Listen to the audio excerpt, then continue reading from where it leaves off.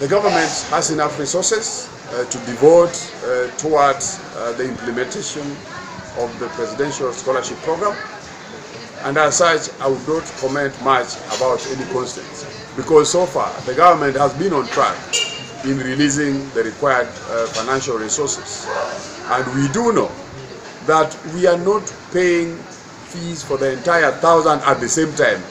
We are going step by step as we recruit 200 students per year and give those who have been recruited time to go through certain phases of acclimatization in their various colleges. It was just yesterday when the government released 11 million shillings in form of checks for tuition fees and upkeep of students uh, to all the universities and colleges where the students are located. So we are on course.